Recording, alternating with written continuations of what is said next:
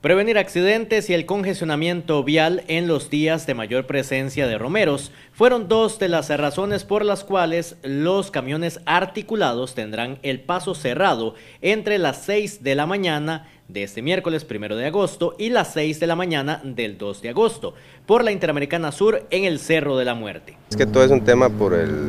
la llegada de, de los romeros ahí al sector de Cartago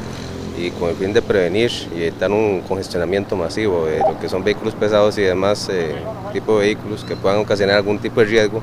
se está este, como medida preventiva desviando todo lo que es pesado por el sector de la ruta 34, lo que es la costanera sur, eh, un llamado a los choferes de, y empresas que tengan vehículos con esas características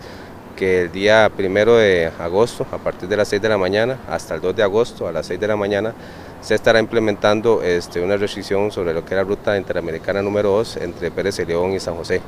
Entonces, para que tengan las previsiones del caso y viajen por la ruta 34, que sería Costanera Sur. Esta medida aplica para los camiones articulados, o sea, los vehículos pesados que circulan con el contenedor o la carreta. Del, del tráiler articulado con su estructura completa, que son los que eventualmente eh, por sus dimensiones pueden ocasionar, ya que se reduce el espacio eh, allá en lo que es Cartago, eh, la idea es prevenir cualquier tipo de incidente que pueda ocurrir. Debido a esto, la ruta que comunica Pérez Celedón con Dominical aparece como una opción para este tipo de vehículos. Por eso se pide la precaución a todos los que tengan que circular por esta vía. ya los choferes, algunos traileros, en el momento que se cierra el Cerro de la Muerte han tenido que utilizarla, ya conocen que es una ruta bastante angosta por lo cual se les solicita que tomen las previsiones de calzo. Igualmente para la ciudadanía, para ese día que tomen las previsiones, que si van a viajar, viajen temprano, eh, para que no anden este, en carreras haciendo adelantamientos indebidos, ya que igual los tramos ahí son muy reducidos. También las autoridades piden colaboración por parte de los conductores de vehículos pesados para evitar grandes presas. Al servicio de transporte público pesado solicitarles entre las posibilidades, de momento que puedan orillarse y dar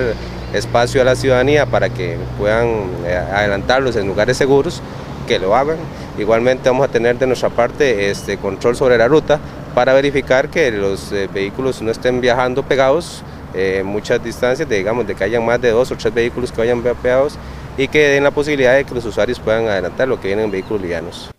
Esta medida regirá solo por esas 24 horas.